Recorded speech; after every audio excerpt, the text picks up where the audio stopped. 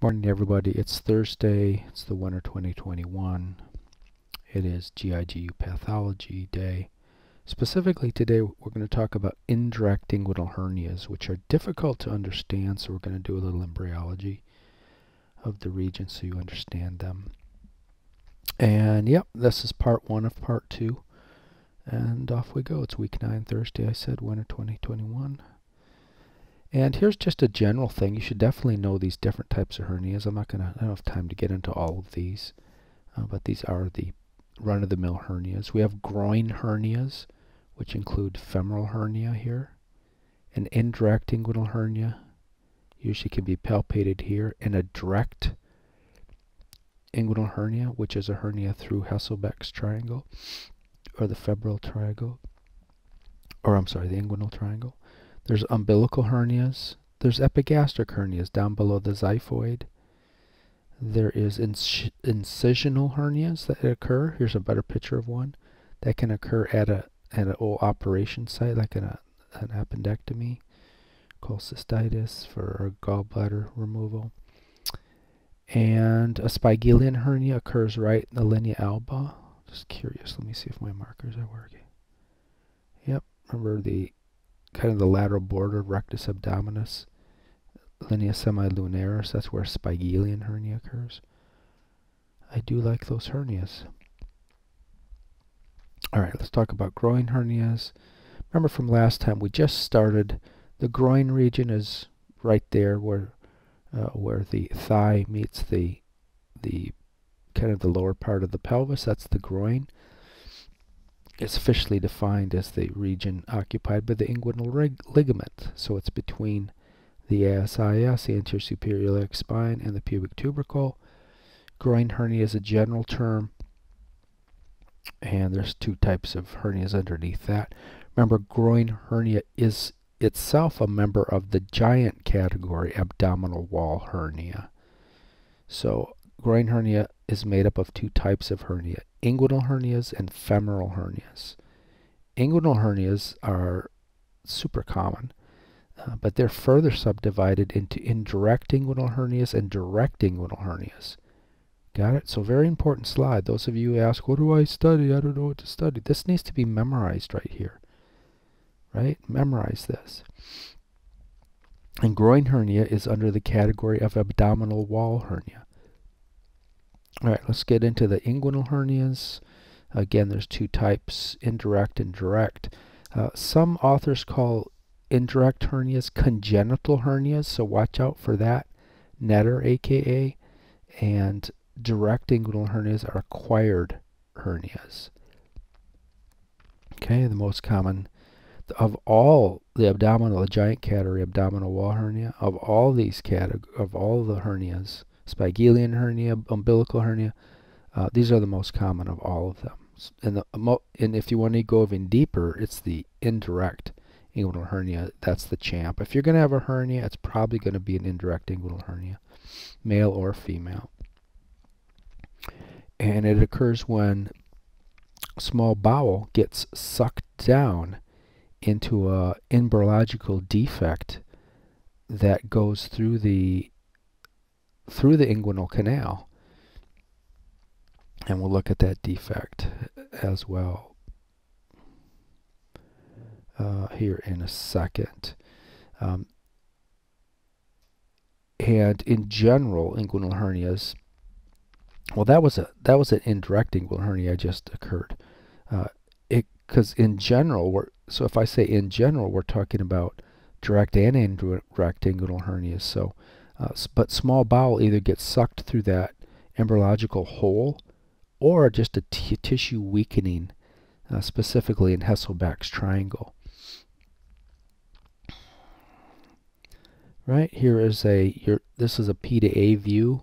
You're looking if uh, you cleaned out all the intestines and you were inside the abdominal cavity looking out, um, you would see the rectus abdominis with the rectus sheath removed.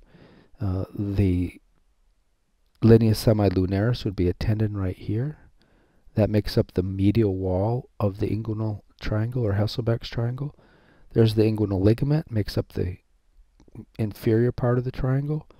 And there's your inferior epigastric vessels, artery and vein. That makes up the kind of lateral superior wall and makes up a triangle. This is where direct inguinal hernias occur. Indirect inguinal hernias occur through the deep inguinal ring here. Right, so that's pertinent anatomy of the area. What about the epidemiology of these hernias, inguinal hernias in general? Didn't we start? I thought we started indirect, did we? No, we're just still in general. All right. Uh, so they're again they're the most common abdominal wall hernia. How common are they? 75% of all abdominal wall hernias uh, will occur. So that's a big chunk of the pie of all the abdominal wall hernias, spigelian hernia, umbilical hernia, epigastric hernia. 75% of them occur in the inguinal region. The lifetime risk of uh, all humans is about 27% in men and 3% in women. They don't occur in women as much. The prevalence of inguinal hernia in someone over 75 years is almost 50%. It's 45%.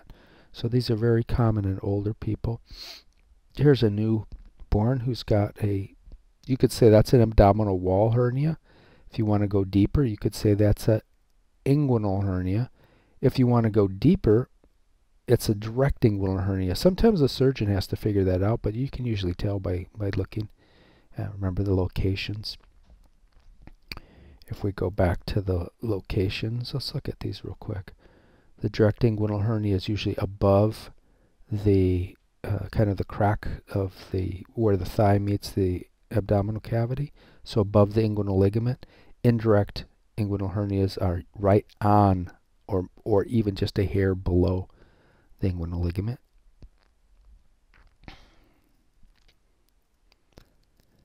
All right, um, some more epidemiology. 30% of patients are completely asymptomatic. They don't even know it's there.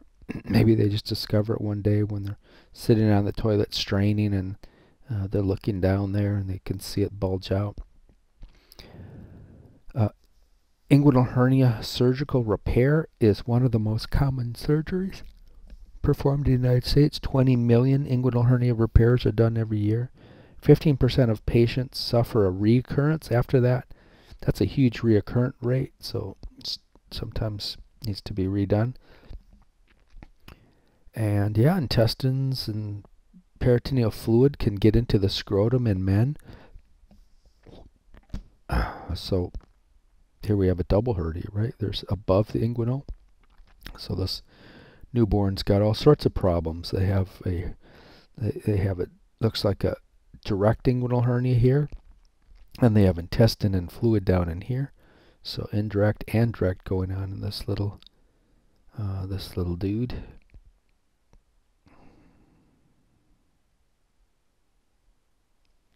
I should have warned you about that. Guinness Book of World Records. There's the largest inguinal hernia on record.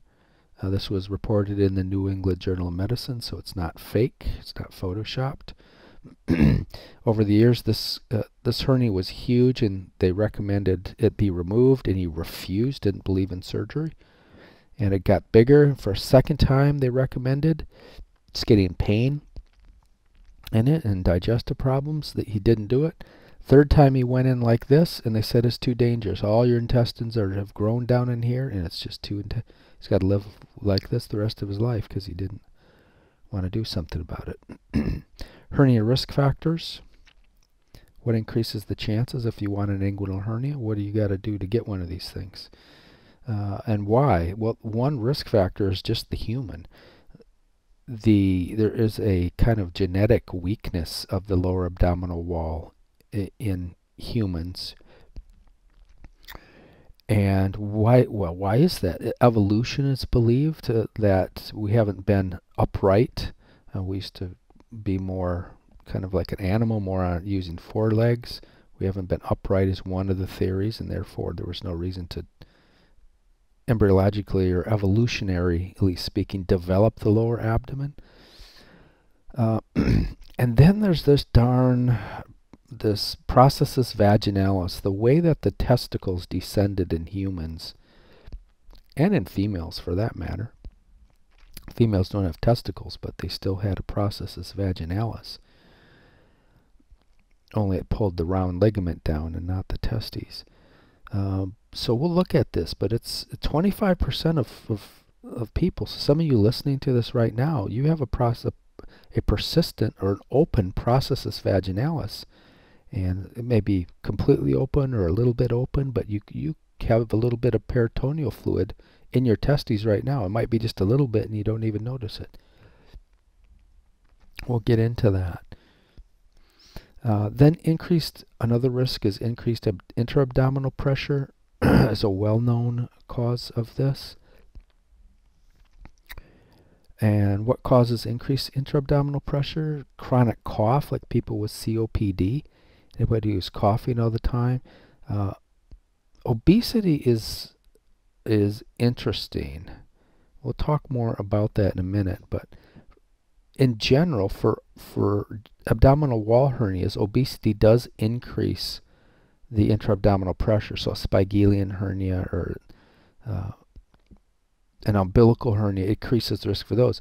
Interestingly, obesity doesn't increase the risk for the indirect inguinal hernia, which is kind of strange, and we'll talk more about that when we talk about indirect inguinal hernias.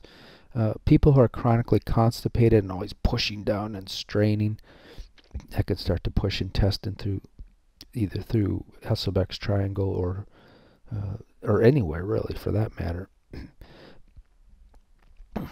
people with uh, with um, who have problems with their urinary outflow tract, like their urethra, they have stenosis of the urethra, uh, or they have or they have uh, let's see what else can I think of?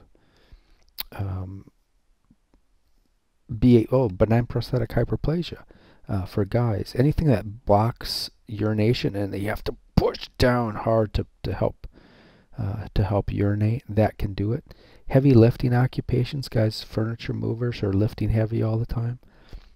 People who are throwing up all the time bulimics, people get pregnant, have a lot of kids can end up having hernias. I have one daughter who has had trouble with that.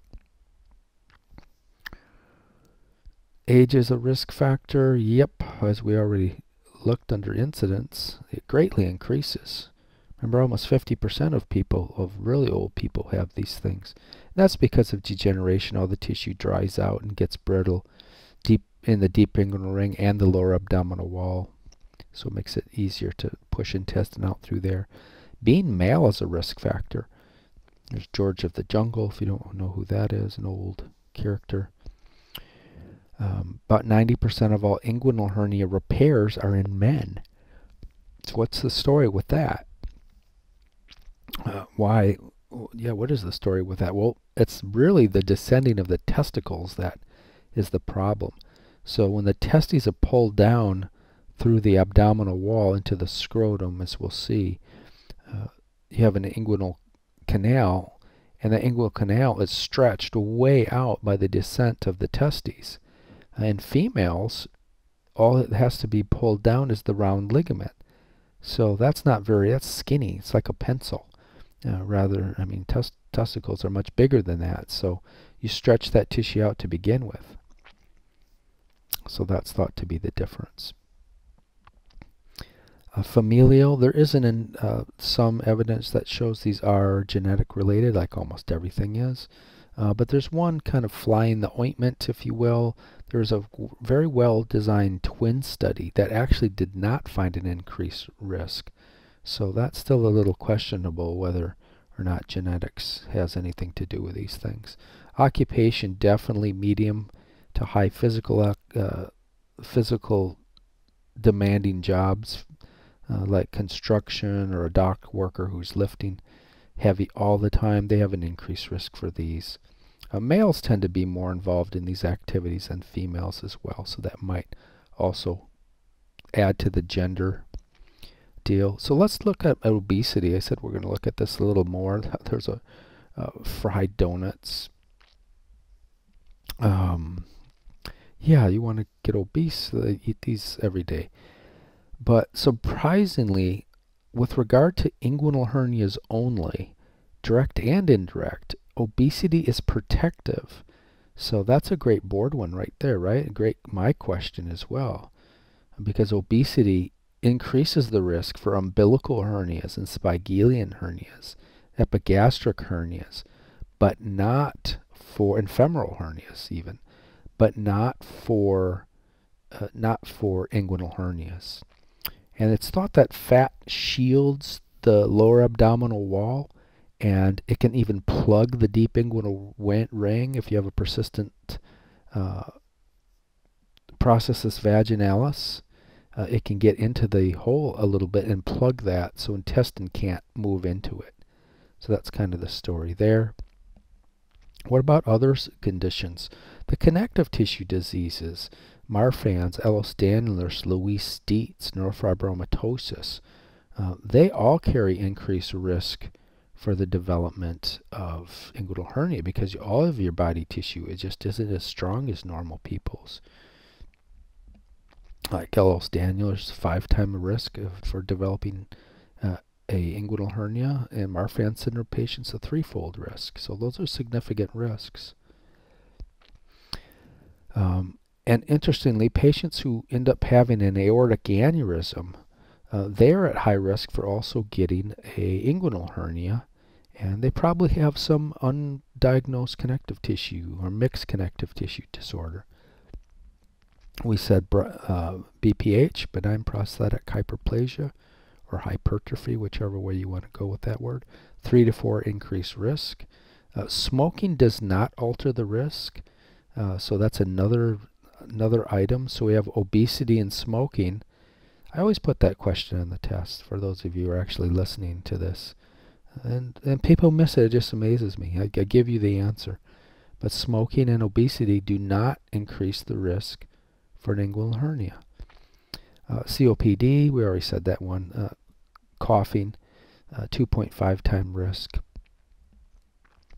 How do these present? And remember, many of these are asymptomatic, and so you might not catch these for years. Uh, but typically, they finally notice a, a, a, bulge sticking out, either at the inguinal ligament or below the inguinal ligament. Uh, may or may not present all the time. Sometimes you're on the toilet straining and you can see it pop out. Uh, especially in children, they may, uh, when they're, if they get constipated, they may get scared when they see it and so it may not be there all the time. Could extend into the scrotum of of boys. Boys could get fluid in there. We'll talk about that. Uh, now, so where does it go in girls? The intestines can go all the way down into the scrotum of males, but where does it go in girls? Because they don't have a scrotum, right? So it goes to the labia majora. So it really can't go that far. So they don't have as much trouble with this. Although I'll show you a picture, they, they certainly can get uh, they can get inguinal hernias.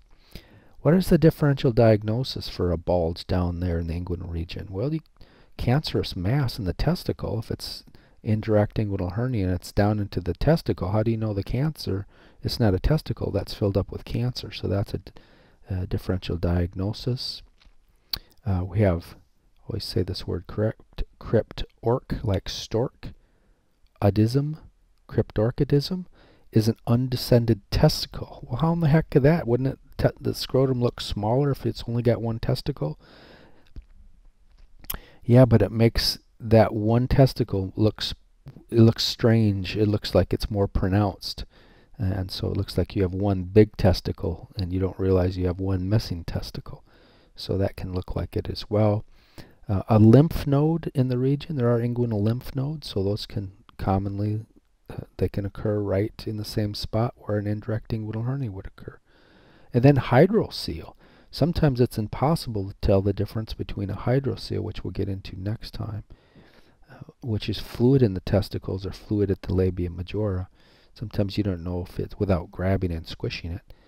Uh, you can't tell the difference. So hydrocele is another differential diagnosis. So now let's get right into these indirect inguinal hernias.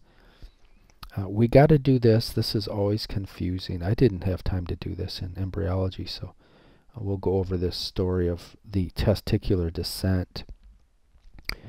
Gubernaculum first. So the two terms that you need to memorize, and you need to memorize them right now. Gubernaculum, processus vaginalis, processus vaginalis, and glubernaculum. These are the stars of the show when it comes to forming uh, the descending the testicles and forming the inguinal canal for that matter for females and then descending the round ligament.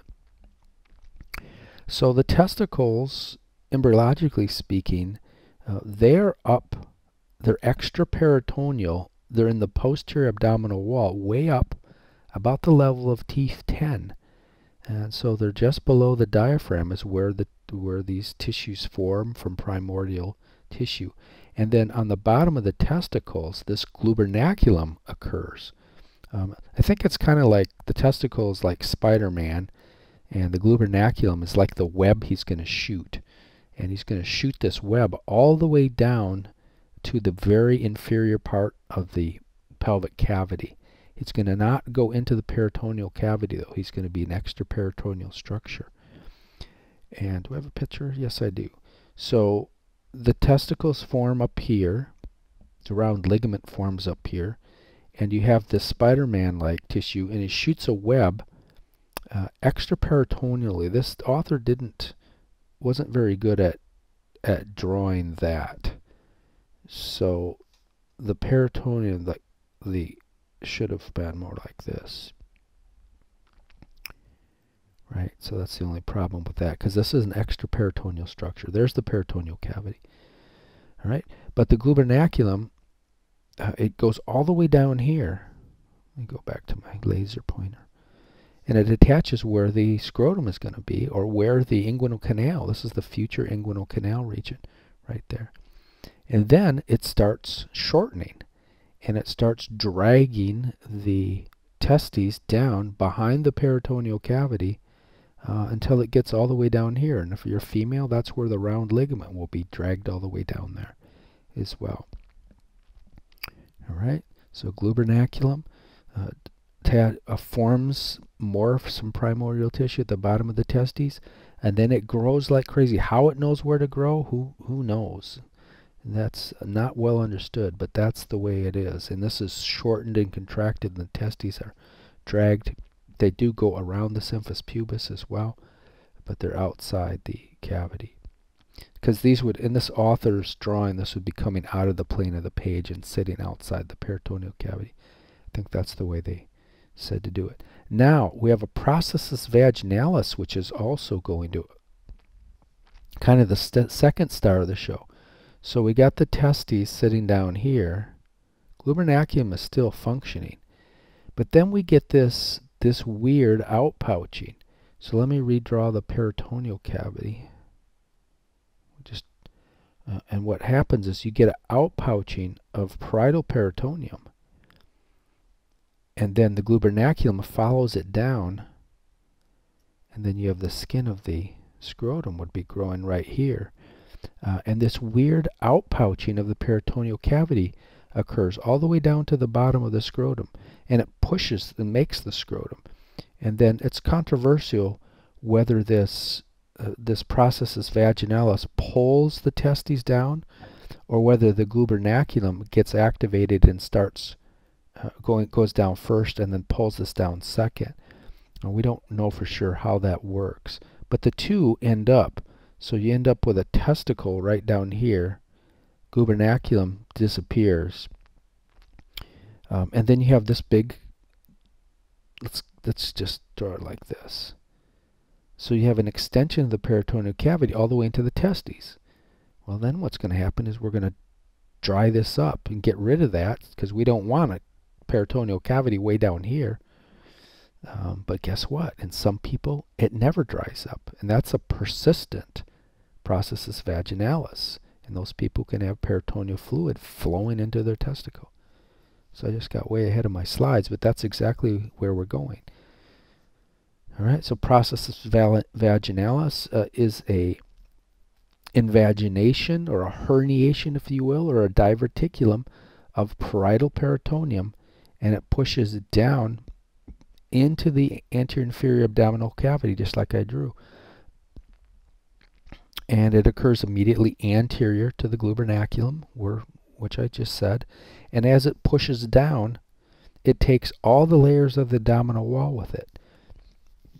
And so as the testes goes down, it also takes all the layers of the abdominal wall, except it doesn't take that parietal peritoneal layer down with it. Right? I shouldn't say all the layers because there's one, the transverse abdominis fascia is not taken with it. Um, so those layers aren't around the testes or in the inguinal canal for that matter. But yeah, so soon the processus vaginalis and the glubernaculum make it all the way into the new scrotum. Um, so here's a, a, better diagram of this. Um, so we have the, in this case, the author thought that the testes lagged behind, but there's the glubernaculum, an, a herniation of, of the peritoneal cavity. And that eventually it's going to go all the way down to here. And maybe this will start contracting now and start pulling and dragging the testes with it. But make sure the key point here is if we make the parietal peritoneum or peritoneum tomatoes tomatoes let's make that parietal peritoneal layer notice how the glubernaculum and the testes are going to be behind that right? So they're extra peritoneal structure. Everybody understand that? And then this whole setup just continues down into here. Got it? All right, so usually about week 32 of fetal development, the testes are pulled down, and everything I just said, the glubernaculum may shorten and help pull them down, it may be the descent of the processus vaginalis, aka is vaginal process. I should have said that. Vaginal process, the words, you know how in anatomy they can twist words around. Um, increasing intra-abdominal pressure from the intestines developing and growing is thought to maybe aid in this process to help kind of force it down. Uh, but here's the final, the final product. So I don't need to draw this again. Uh, but yeah, so there's the testes has descended. In the female, this would only go about, oh, about down to here. To, well, it would go to the, the mons pubis region. But yeah, so at this stage, we have a complete opening still. The processus vaginalis is still completely open. But soon that's going to scar shut. Uh, in most, about 75% of humans, that'll scar shut. But it doesn't scar shut here. So that's going to become the cavity for the tunica vaginalis. Remember we studied that in, uh, in was it gross 2? Yeah, it was in gross 2 we studied that. Uh, the tunica vaginalis, the parietal and the visceral layers of the tunica vaginalis. And um, I don't think that they talked much about this cavity, but that's really important. The cavity for the processus vaginalis. That's where a hydrocele occurs, as we'll talk about. Okay, I think we got that. Uh, so goodbye to the processus vaginalis. As I said before, it degenerates. Sometimes it uh, takes a while to disintegrate, maybe even after birth. Uh, but that cord dries up except for the distal part. Remember I said this part right here is what what dries up. This all dries up and seals shut. So you don't have you don't want your peritoneal fluid leaking down there. But this never shows up, and that becomes the tunica vaginalis cavity or the cavity for the tunica vaginalis. All right, uh, and that and that distal part, it, it, doesn't completely surround the testes either. Uh, it covers the front and the sides of the testes, but not the back of the testes. So you, if this is if this is scarred up and clogged up, we kind of have, even though this is the cavity for the tunica vaginalis, but it's kind of like a peritoneal cavity, right? Because embryologically, that cavity for the tunica vaginalis is, uh, it is a it is a peritoneal cavity, so that's kind of strange.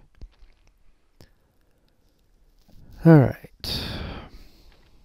Let's see here. Yep. And so that, as we said, that becomes the cavity for the tunica vaginalis. It has an outer layer where the parent is, the parietal tunica vaginalis, and an inner layer called the visceral tunica vaginalis.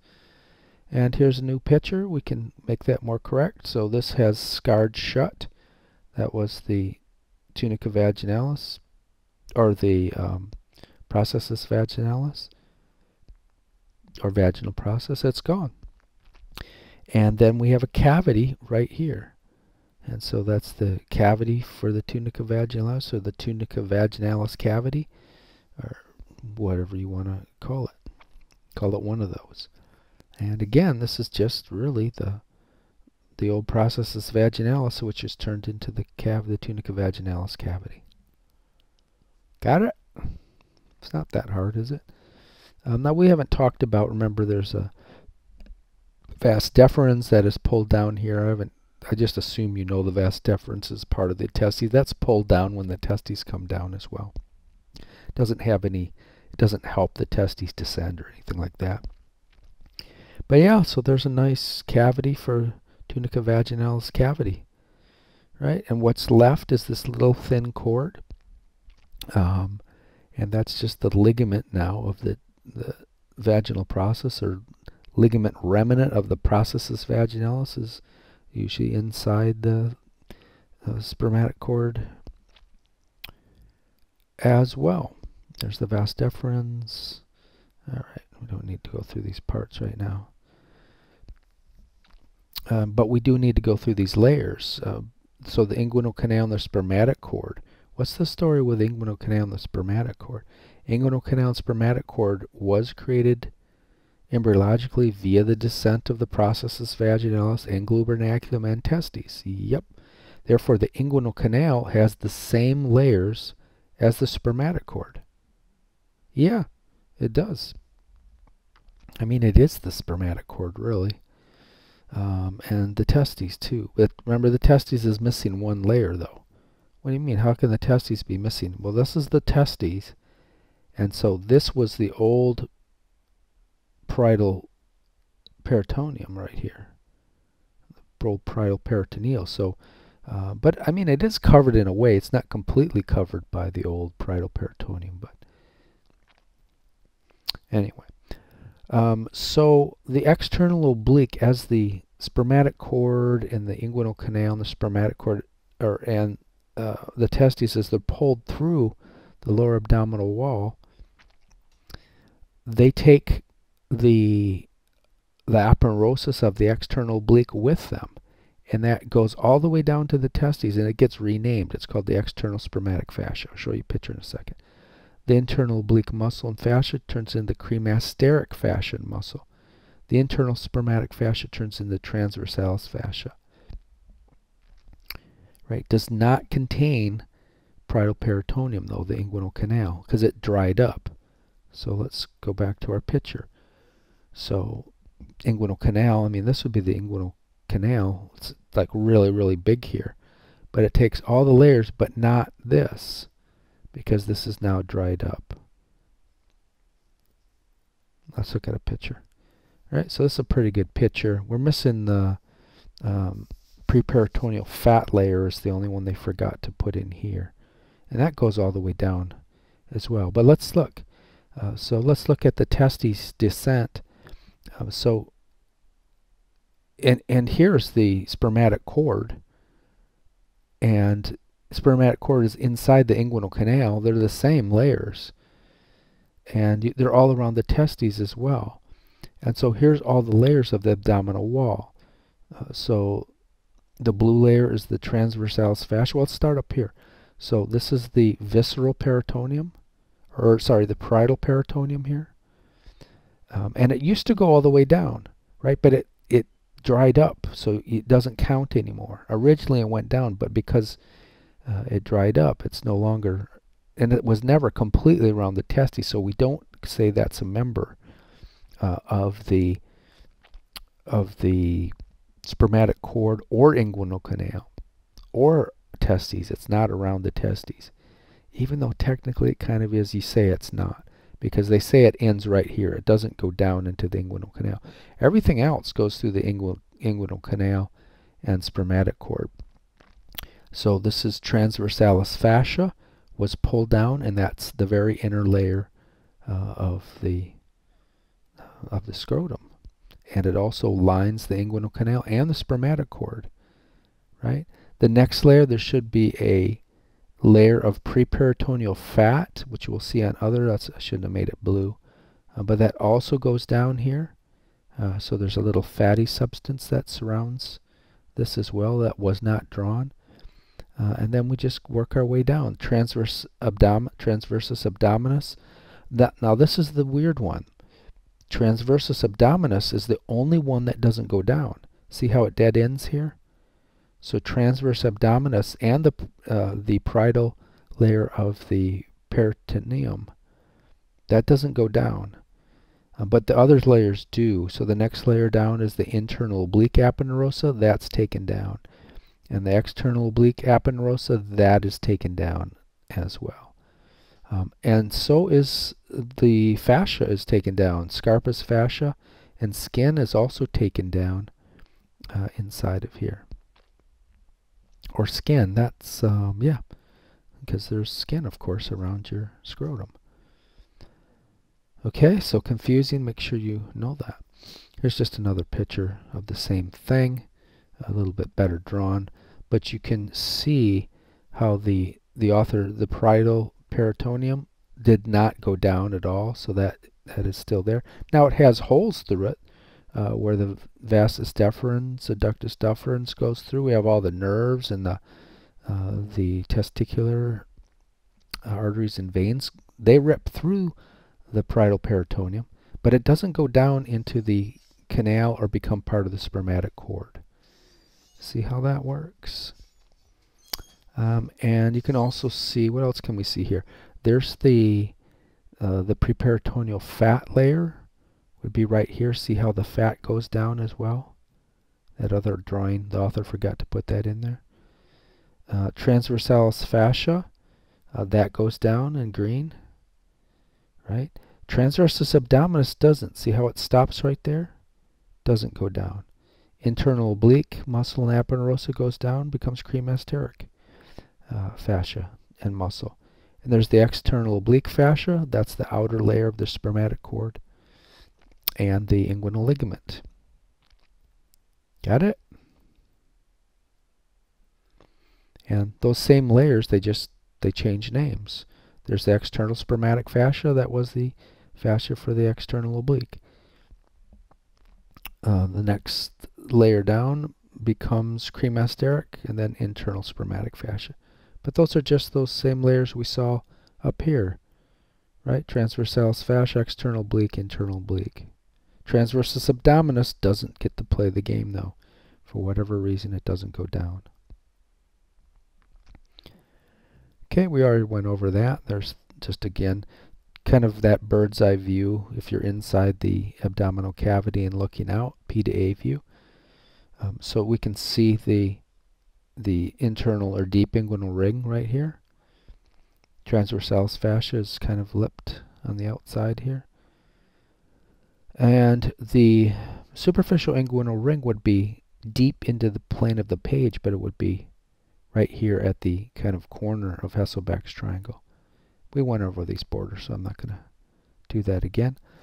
All right, so now let's get into, we said 25% of people have a persistent processus vaginalis, or persistent vaginal process. So what kind of deal, what kind of problems are we going to have? You can imagine the problems we're going to have with that right? So the processus vaginalis never scarred shut. So you have a communication between your peritoneal cavity and your uh, in your testes, right? It's inside the the testes, but it's really not. I mean, you have to read to see what the question. Technically speaking, the communication is between the peritoneal cavity and the cavity for the tunica vaginalis, right? Because that's what that distal part of the processus vaginalis becomes that cavity that mostly surrounds the testes, but not completely surrounds the testes. All right. And what else do we need to say here? Yeah, it can be the the processus vaginalis, as we said before, can be completely open or it can be partially opened. And here is a person who has a fully developed scrotum. Testes are down in the scrotum. And you can see we have a open processus vaginalis. And the author should have made the, the little blue peritoneal cavity dripping down into there. So there's the cavity for the tunica vaginalis. Now has peritoneal fluid.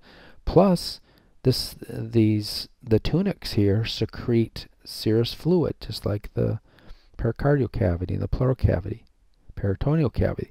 They secrete fluid, so you have a little serous fluid down here as well, mixing with the other peritoneal fluid, which is still serous fluid. All right, so peritoneal fluid can get down there, but the bad thing is intestine can make their way through there because now it's really easy for intestine to get down in there. Uh, and that's the definition of an indirect inguinal hernia. Right? We said females can have these these indirect inguinal hernias, but they don't have a scrotum or testes. They can still get a little ball down by their uh, where the hair is there, the mons pubis. By the labia majora, can go all the way to the labia majora. So they they can also get inguinal hernias. They just are not as devastating usually uh, as God. And dev, I shouldn't say devastating. They're most they usually don't kill you. They hurt.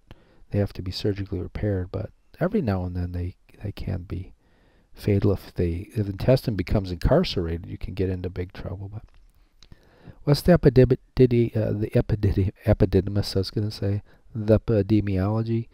Uh, it's found in about 20 percent 26% according to this author. The other author said 24. But about, about a quarter of humans have some degree of, of open vaginal process or processus vaginalis.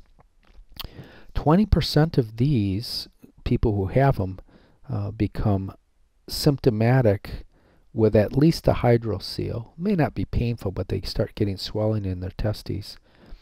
Um, or they could end up at some point in their life with a full direct or indirect inguinal hernia and need surgery. Some fun facts. So if you have one on one side, there's about an 85% chance it's on the other side. Um, so only about 11% get bilateral hernias though. So even though uh, you probably have both processes, vaginalis opened up, you only 11% get bilateral hernias through there. It gets too tight. If one hernia, intestine herniates down through there, it kind of blocks the other, uh, the other from having intestine go down it. Hernia or hydrocele. So, yep. So if it's a small, maybe if it's only partially open, the processus vaginalis, it's too small for intestine to get through, but you can get accumulation of fluid uh, called the hydrocele. That's just testy. That's just a, a ball of fluid in your scrotum or around your labia majora if you're a female. If it's a full, wide open processus vaginalis, you'll have uh, fluid, you'll have a hydrocele to some degree, but the scary thing then is you can have intestines move down and get stuck in there. So now that we know, let's officially talk about this indirect inguinal hernia. We already know a lot about it. It's the most common type of groin hernia. 75% of all groin hernias are indirect inguinal hernia, way more common in men. It occurs, as we know, when the intestine moves through the deep inguinal ring and gets stuck. And it might go all the way down into the through the superficial ring, all the way down into the uh, into the scrotum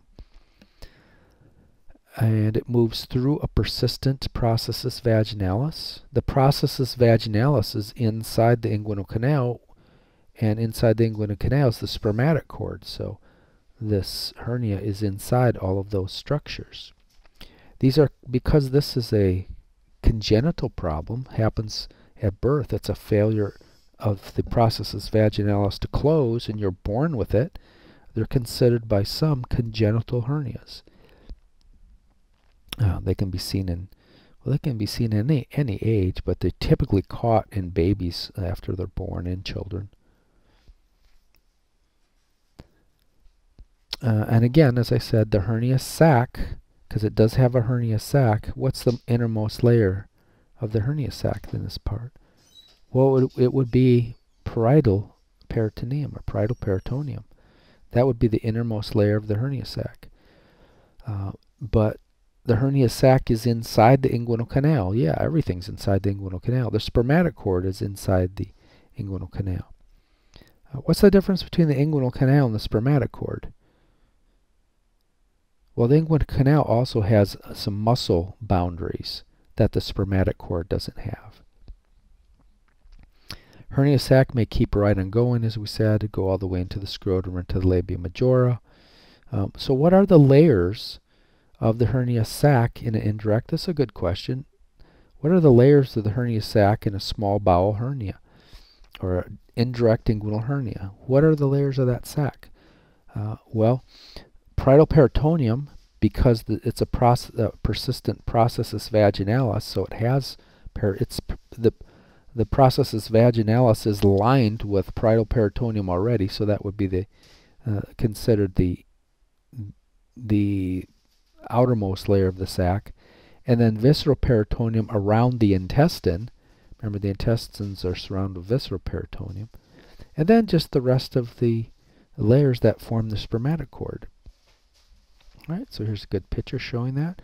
Peritoneum is taken right down with it. Normally it's sealed up here, except for those little holes where the where the vas deferens goes through. But so that's the innermost layer is this parietal peritoneum. Uh, then we have extraperitoneal fat, but that's part that's there anyway. That's part of the spermatic cord. And then the rest of the layers I won't go through them. But remember again, here's where I'm going to get you guys. Notice transversus abdominis muscle and the aponeurosa does not play the game. It doesn't go down. Got it? But that's not true of internal oblique. That does send fascia or muscle down and becomes the cremasteric muscle. Internal oblique sends fascia down. Uh, or I'm sorry, we did um, internal oblique becomes cremasteric. We forgot to do the transversus, uh, what do we forget? Oh, transversalis fascia we forgot. So that's that next layer. Transversalis fascia is that little, I don't know what color that is, gray. Okay, so I went through that before, so you get the idea. That's a nice picture, though. All right, let's look at some of these. So there's the inguinal ligament. These are definitely below, so these are not direct inguinal hernias. Um, so this is a hydrocele as well. There's fluid in there uh, but there's also intestine that's gotten in there as well, so that's not good. All right, just another picture of intestine, how it's worked its way down uh, through the spermatic cord, through the inguinal canal. All right, I think we got it. Uh, here's female, so the vulva would be down here. Uh, her head would be up here, her belly's here, and she comes into the dock, Got a big bulge here, Doc. What's going on? There's the mons pubis starting. Kind of a weird looking picture. Um, but yep, so that's an indirect inguinal hernia in a female. And so the, the processus vaginalis because they didn't have testes pulling down there. It's, it's more narrow than males anyway. So it doesn't tend to happen. If it does happen, if they have a persistent processus vaginalis, that is given a special name it's called, some authors call it the Canal of Nuck. Like Dr. Nuck, right? The Canal of Nuck. And uh, yeah, so that's the lumen for the process, uh, persistent processus vaginalis. That's from Standring, so that could be a board question. And yep, region, um, yeah, we, we know that. Now a large processus vaginalis, they could get not only intestines, but the uterus, the fallopian tube, and the ovary can get sucked down into there as well. Okay, what about this is from Standring, a board book as well. That's the big, thick, black Gray's Anatomy book. That's huge. Uh, Standring. So she breaks them down into complete versus incomplete. So you should know that. It could show up on boards. So when the the hernia sac ends up all the way in the scrotum, or all the way down to the mons pubis. Those are called complete congenital indirect inguinal hernias, or sometimes just complete inguinal hernias. So some board questions could pop up like that, complete inguinal hernia. And then incomplete would mean it doesn't go all the way, it's still in the uh, in the inguinal canal. right? So there's an incomplete congenital uh, indirect. That actually looks like a direct inguinal hernia to me, right? Because it's above, there's the inguinal ligament. Uh, they're typically more in this region, so I don't think that's, I think that's a direct inguinal hernia. Uh, strangulated. What's the story with that? St so in, indirect inguinal hernias, they're they're more dangerous because that's a tight squeeze for you to have intestines going all the way down into your inguinal canal and even all the way into your scrotum. So fecal material can get blocked and that can cause a small bowel obstruction or a mechanical obstruction, which results in a strangulation. And that is a strangulated indirect inguinal hernia is one of the most common emergency surgical procedures uh, on the planet. All right. And it is one of the most common causes of intestinal obstruction in all ages. And yeah, if you get intestines uh, pushing down through the inguinal canal,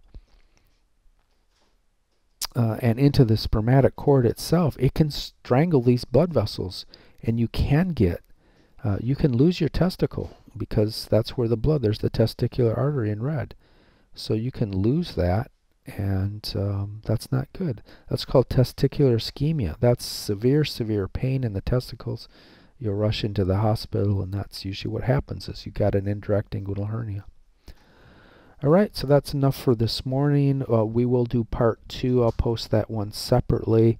I'm sorry, virtual classroom failed on us this morning, so this one will be on YouTube. See you later.